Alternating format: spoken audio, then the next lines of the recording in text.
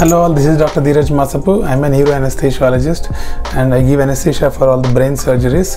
And today I would like to react to a video uh, from the season Chicago Meds where a neurosurgeon is performing a awake craniotomy in a patient. So that is like the patient will be knowing what, what is happening during the surgery. It is done for a purpose which I'll tell you in the end of the video. So I also give something called as a reality score. You all know that at the end of the video and also I will tell you some latest technologies which have come up in the neurosurgical uh, practice which are drastically going to change the practice of neurosurgery in the end of the video. Please, please, I can't stand it. Okay, Dell, you need to tell me. How are your feet? Can you feel your feet? I can't, I can't. Dan. Dell, I'm touching your right foot. Can you feel me touching your right foot? Yeah, I can feel it. Can we please stop? Okay, great. Now, how about your knee? I'm squeezing your right kneecap. Can you feel that? Yeah, I can feel it. So, so your feet, your stomach, your legs, your hands are all okay, right? Okay. Yeah, you're doing really, really well. I mean, you're answering my questions. So here what is happening is the patient uh, has become very anxious during the awake craniotomy which is not supposed to happen. But it's not totally under the neuroanesthesiologist or neurosurgeon's control. Uh, so what happens is there are some prerequisites that we need to fill before taking up a patient for awake craniotomy. The patient should be mentally strong so and also he should understand what kind of uh, surgery is undergoing. So to, so to uh, be on the safer side. We also get a psychologist's uh, opinion before the surgery to understand whether this particular patient can stand the stress of awake craniotomy or not. So despite of that sometimes we will be stuck in this kind of situations where the patient gets very anxious and if the psychologist gives us uh, info like this patient is not fit for awake craniotomy then we will resort to other techniques the other techniques where we integrate technology and we will try to achieve the same results that we are trying to get with awake craniotomy which I'll explain in the end of the video. It means that maybe you can answer some of Dr. Abrams' questions too. What comes after three? After three. After three. You know this one. Four. You're so much stronger than you think you are. You know that? What did FDR say? FDR? Come on, we talk about this all the time. Roosevelt. You have nothing to fear. But fear itself. That's right. Raise your right index finger.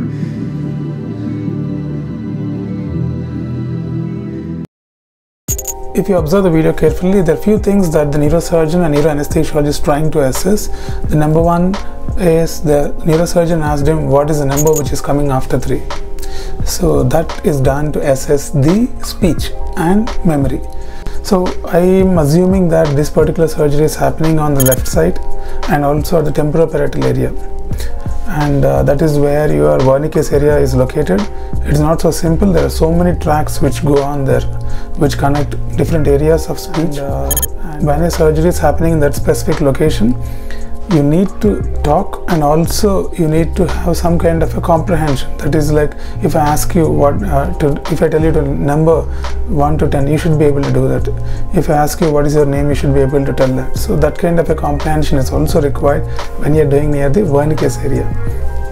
And the second thing that uh, the neuroanesthesiologist try to assess here is the memory I think they would have had a prior discussion about Roosevelt and FDR something is trying to say. Since I didn't watch the whole season I don't know what context it is.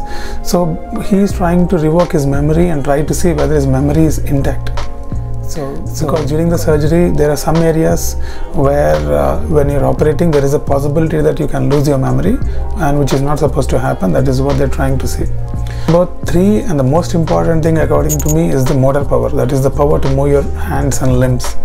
That is what the neurosurgeon asked. He asked the patient to lift the finger which he did.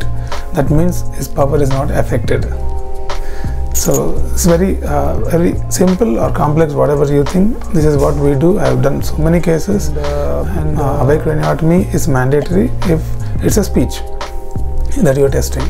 But if you are testing motor it is not 100% uh, mandatory uh, because i feel if the patient is anxious and there are some contraindications where you cannot do the awake craniotomy and rather than getting stuck uh, like this during the surgery with anxious patient i feel it's better to go into general anesthesia.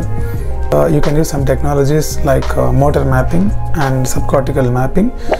The motor mapping is like we stimulate the motor area of the brain and try to get the uh, CMAP responses from individual muscles and we can map the area of brain which is responsible for the function of your hands and limbs. And also the subcortical tracts the corticospinal tract will be going on in the brain which actually transfers the information of the motor. Subcortical when the tumor is located near the subcortical area we do something called as a subcortical mapping which is a very advanced neuromonitoring technique. If you do that you can get the same result of awake craniotomy with general anesthesia.